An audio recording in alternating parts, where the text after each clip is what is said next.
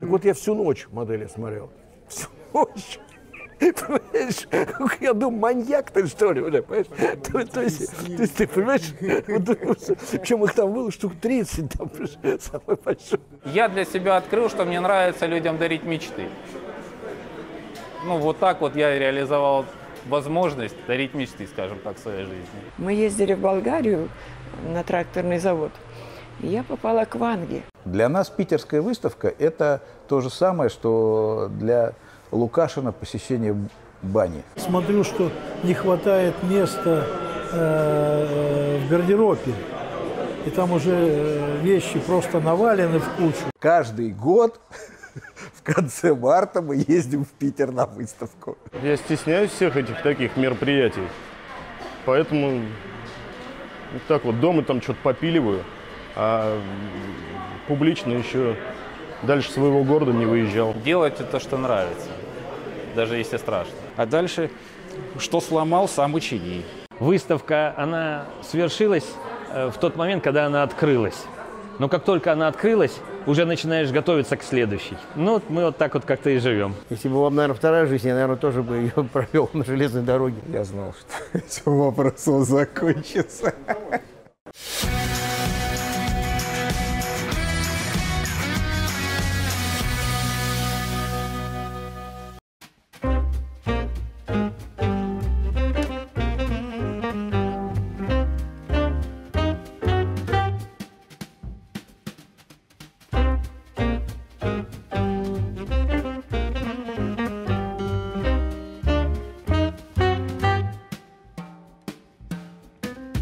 Напрасно Питер ругают за переменчивую погоду.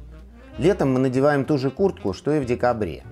Уже много лет у железнодорожных любителей в городе на Неве существует негласная традиция. Пока не пройдет выставка моделей, весна не наступит. В этот раз выставка хоть и была юбилейной, 30-й, матушка природа сию традицию проигнорировала. Тепло на улице пришло несколько позднее, а вот весеннее настроение, царившее среди участников и посетителей, ощущалось сполна –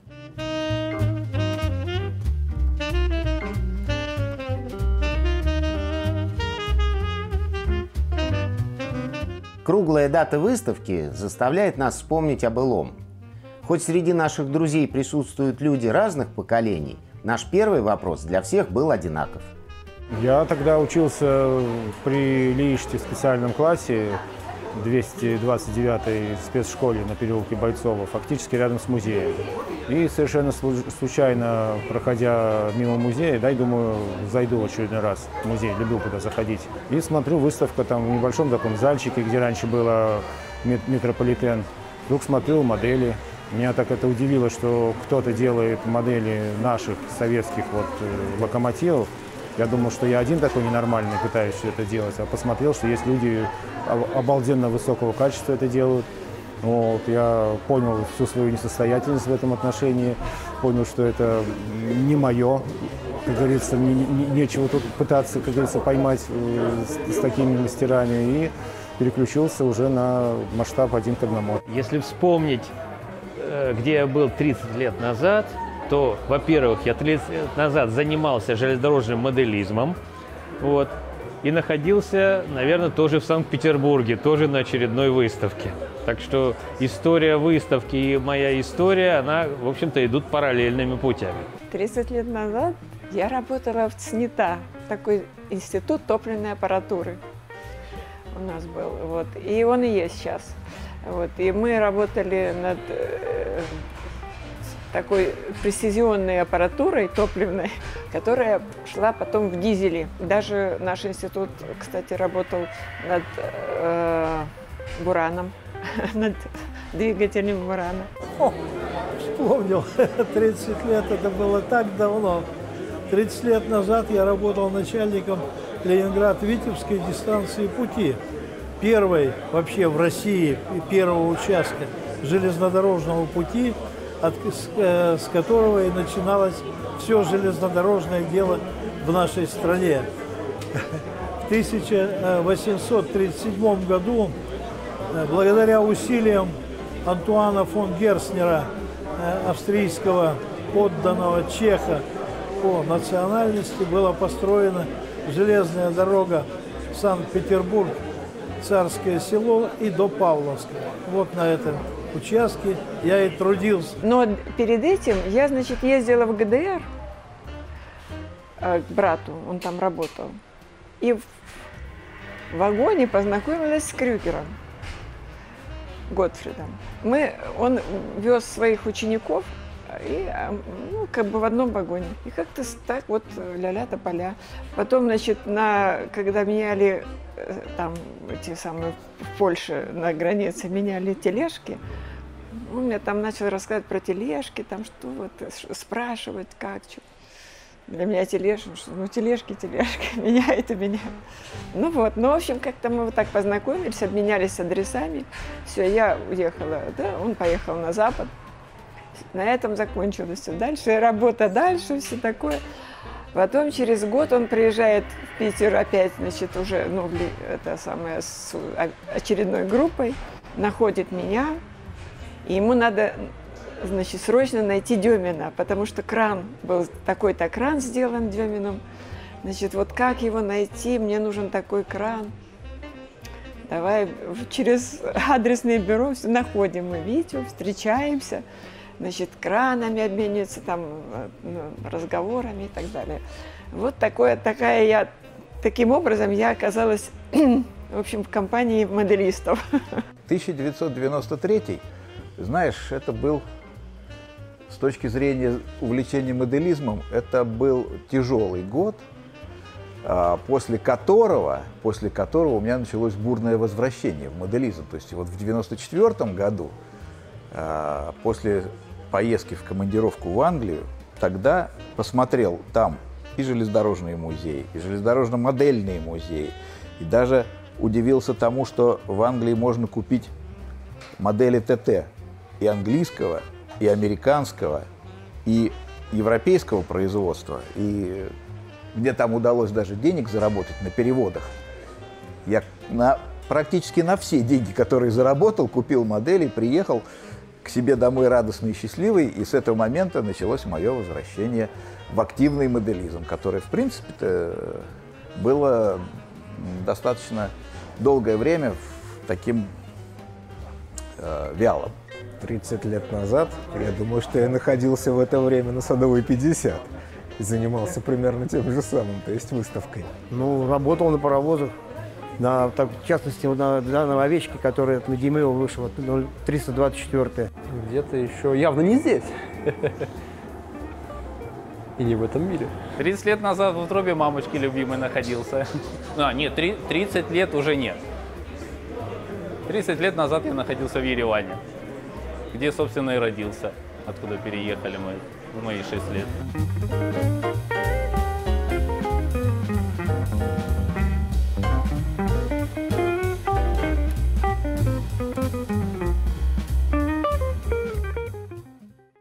Я помню, как это даже вот эти, даже зрительно помню вот эти э, модели вот этого Вадима Воронина, типа размере, вот N, его там паровозы. Меня настолько поразило качество изготовления, что я, вот сколько дней она была, я столько дней туда ходил, и там буквально по часу зависал в этих витрин. То есть я помню эту первую выставку.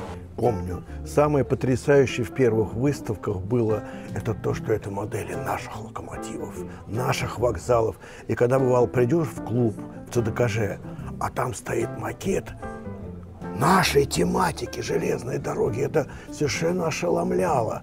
Это светофоры наши, и сигнализация наша, и вагоны наши, не пиковские. Ну вот первое это было в Берлине. Мы приехали, только еще был некрашенный вагон, и мы его представили э, в Берлине, и Крюгер тогда выставил там на каком-то это. Вот это была первая выставка, и меня вдохновило, что все немцы были в восторге. О, в России вагон, Амендорфовский, ну и так далее. О.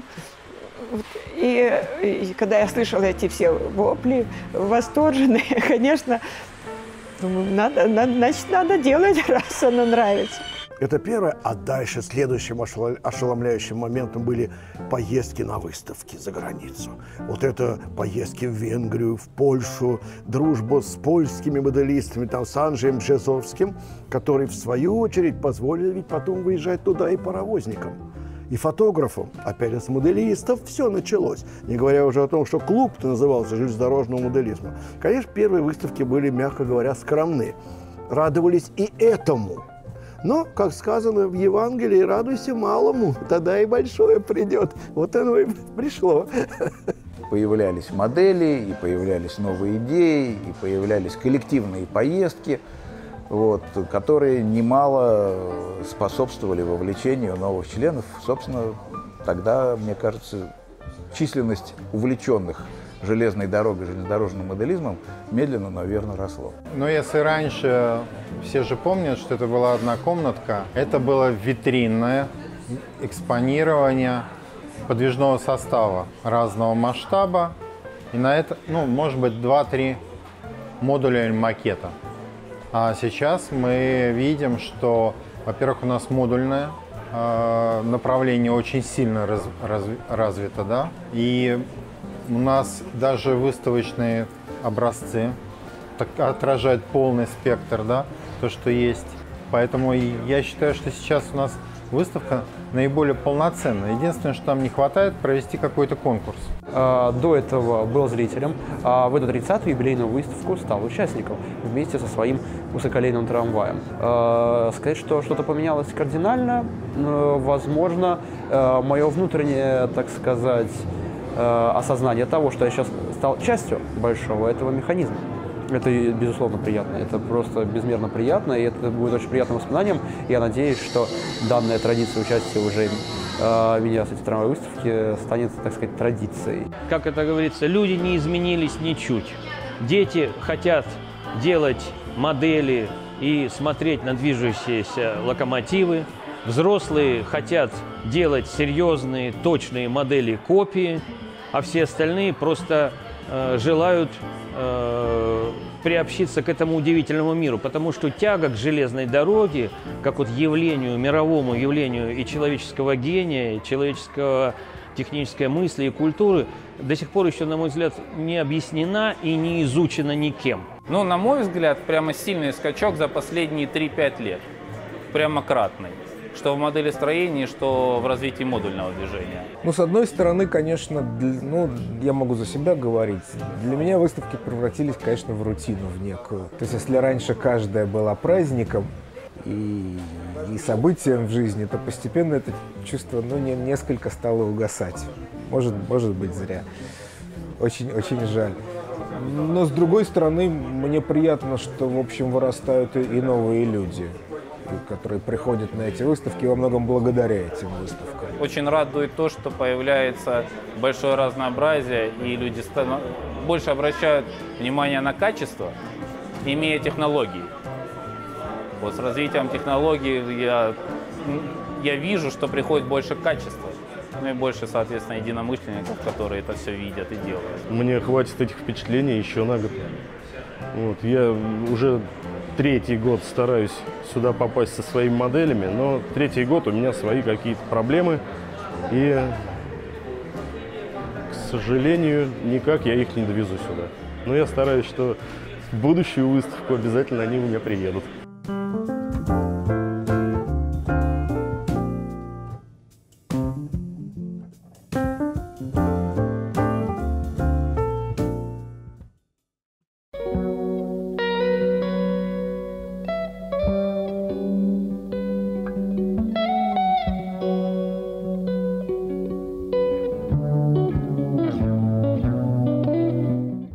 Выставка удалась.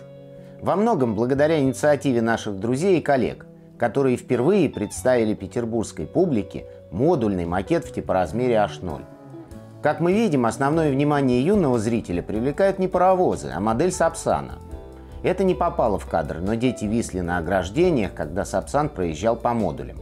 Как все изменилось за 30 лет с момента открытия первой выставки? Наши участники вспоминают, что это было за время. Для меня это было очень хорошее время. Для меня это было время надежд, в общем-то, и Причем не только личных надежд, а, а и общественных. И я вспоминаю это время с большой теплотой, честно сказать. На самом деле люди были по- полны энтузиазма. Вот. Несмотря на неудачи, которые произошли там с молодежной организацией, всем известной, э, развивался музей в Петербурге. Э, Туда э, они, э, ребята собирали экспонаты, им можно было помогать. Э, Очень был такой интересный большой подъем. Опять же, развивавшийся в Москве Интертрек собирал экспонаты. То есть точек приложения усилий было много. Было еще чего поднять, были паровозы интересные, были вагоны. Было время возможностей. Вот реально было время возможностей. Это было переломное такое время, э, когда, с одной стороны, э, открывалось много возможностей, но нужно из этого обилия возможностей было выбрать именно те, которые бы были бы продуктивными. Потому что было масса непродуктивных возможностей. Но об этом никто не знал. Э, Дело в том, что, э, на мой взгляд, э, в 90-е годы, от начала 90-х годов, любительское движение было просто изобиловало настоящими пассионариями в этой области. Это было как время некой такой эйфории, когда наконец-то открылась возможность полностью, собственно, понять свое предназначение, ну, например, в таком направлении, как спасение российской железнодорожной истории, как сохранение исторического наследия, причем не нужно было, собственно, добиваться каких-то специальных разрешений или там, допустим, указаний горкома партии о сохранении ленинского паровоза. То есть достаточно было ну, собственного осознания, что это очень важно для людей, важно для тебя, важно в целом для страны. То есть на самом деле вот если уже более серьезно и оценивать на протяжении 30 лет то, что происходило в моей жизни вот в области железнодорожного моделизма и истории железных дорог, это, скорее всего, э, этот, эти года, это было время действительно такой некой эйфории, некой, э, ну, такой радостных надежд, когда наконец-то удалось реализовать многие свои э, жизненные устремления в области, в том числе и сохранения железнодорожной истории, и моделизма. Я сидела, слушала, говорю, так а что присылать? Давайте будем производить сами. И Крюгер это вот как-то, ну, как предприниматель, конечно, он это услышал. И когда мы разошлись, он ко мне говорит, а узнай, как, что, сколько будет стоить сделать такую-то форму, такую Дал мне какие-то детали, там, корпуса, узнай. Я на линкарзе, естественно, пошла там, да, мы, да, делаем, в чем дело, конечно. Будет стоить там столько-то. Я докладываю, что?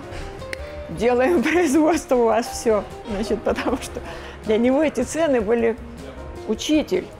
Ему можно было это все тут запустить вполне. И он вот пошел на такое дело. И мы открыли наше предприятие. Получилось, что тогда начинались вот эти ретро-туры, и с учетом того, что к нам хлынули иностранцы, паровозы вдруг стали нашим чиновникам нужны для ну, получения каких-то денег. И за счет этого дали ими заниматься, восстанавливать. Начало возрождаться паровозное движение. Для туристических целей паровозы стали использоваться. И как самый старый сохранившийся паровоз был у нас ОВ-324, которая находилась в Филянском депо в Ленинграде. Санкт-Петербург уже потом Филянский. Много чего было в 93 году. И война в Москве была. Я как раз в это время пошел учиться на права в дорожную школу. А про эту выставку я еще даже ничего и не знал. По-разному можно оценивать то время. Значит, для Октябрьской железной дороги, на которой я в это время трудился, это был сложный период, тяжелейший период, в общем-то, потому что э, грузы двинулись в эту сторону, в порты. Представляете, дорога не была готова к такому развитию. И поэтому требовалась срочная модернизация железнодорожного пути. И э, ну, нам пришлось очень много и серьезно трудиться и ответственно. Благополучно прошли эти годы.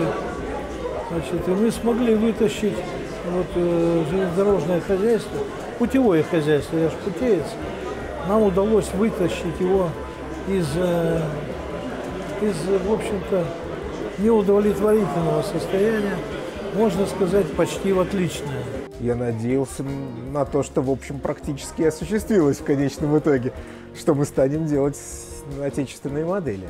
В то же время надо не забывать то, что тогда была свобода.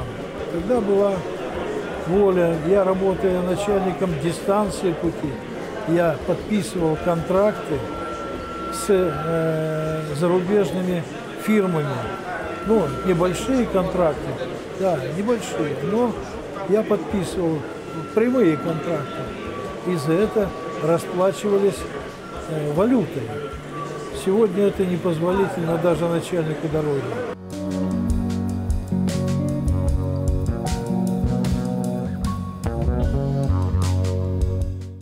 Э, Леонид Михайлович, я вам скажу так. Каждый человек с годами, когда ну, решены многие проблемы, проблемы карьеры, решены проблемы материального обеспечения, ну, тогда человек задумывается о своем предназначении. Вообще, для чего он родился? Не для того, что, не для того же, чтобы работать, зарабатывать, значит, кушать, спать и помереть спокойно. Потому что э, кушать, э, пить и, соответственно, дальнейший результат этого процесса, это, конечно, очень важно. Но этим от животного человек не отличается. А вот чтобы отличаться от животного, надо творить. И в этом отношении, если этих выставок не будет, то подумать об этом, я бы сказал так, искренне очень грустно. Дело в том, что я когда-то давным-давно еще, уч- э, работая в ЦНИТА, мы ездили в Болгарию на тракторный завод. И я попала к Ванге. Она мне предсказала. И Крюгера предсказала. И, ну, как-то вот что-то все сбылось. Изначально я хотел стать баскетболистом. А, Но когда первый раз я прокатился и э, пощупал, потрогал, поуправлял немножечко, э, это кардинально изменило, абсолютно. Скорее всего, я бы связался с флотом. У меня отец военный моряк, и действительно, когда я жил в Калининграде, мы, он брал меня на военно-морскую базу в Балтийск, мне корабли нравились. Но мне и сейчас корабли нравятся, конечно. Вот. То есть, конечно, это тоже целый мир, но Даже не подозреваю, если честно. Нет какого-то второго увлечения, которое было бы равнозначно э, моим. Это, это не увлечение железной дорогой, это душевное состояние. Я бы стал заниматься железнодорожным моделизмом немножко еще раньше. Не знаю даже. Может быть, я был бы счастливее, может быть, нет. Ну, как получилось, так получилось. Менять не хочется. Не знаю. Не хочется, конечно, о плохом. Но, по-моему, это занятие помогло мне в лихие 90-е не спиться.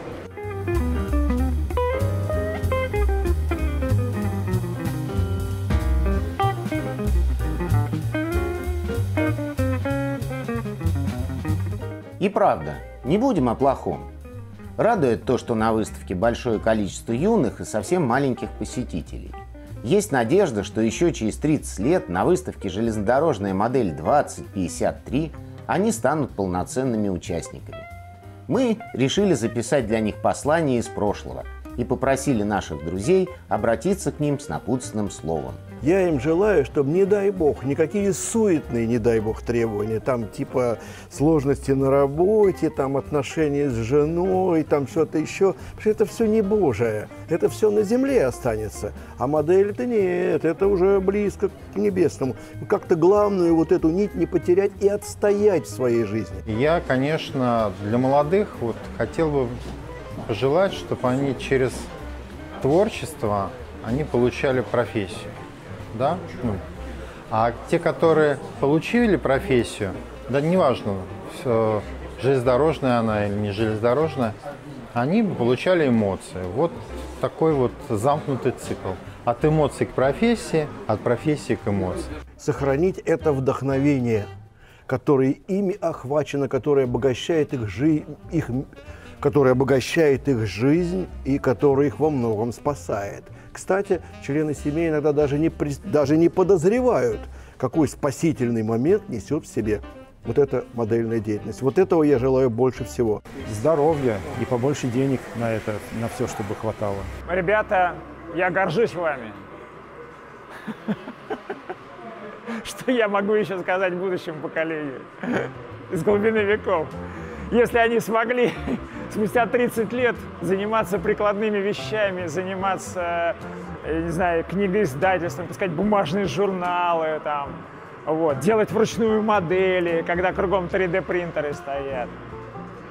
Конечно, ребята, я горжусь вами. Что я могу еще сказать? Ну что, увлекайтесь, ребята, потому что увлечение – это всегда положительные э, дела для человека. А, Не бойтесь и творите, ведь все зависит именно от вас. Ведь э, многие трудности – это лишь трудности мнимые. Как говорится, глаза боятся, руки делают. Да, и, э, неудачи иногда встречаются на пути, но никогда не останавливайтесь. Если вы взялись за это, то знаете, любые цели, они досягаемы. Это лишь вопрос времени и подхода, с которым вы к этой цели подходите. Дерзайте, получайте удовольствие от своего увлечения, и оно поможет вам с обратной стороны. Оно поможет вам в ответ. То есть ваше увлечение всегда будет с вами, и в то же время вы, собственно, будете определенную э, степень защищены от многих жизненных, э, скажем, иллюзий, которые и э, искушений, которые в современном обществе сейчас э, в большом количестве преследуют людей, зачастую не окрепших еще и не осуществивших свой выбор или в профессии, или в творчестве, или вообще в увлечениях. Делайте то, что нравится, даже если страшно. Не надо лениться. Ну и все. Надо заниматься э, любимым делом. Ребята, не бросайте это дело, оно очень интересное.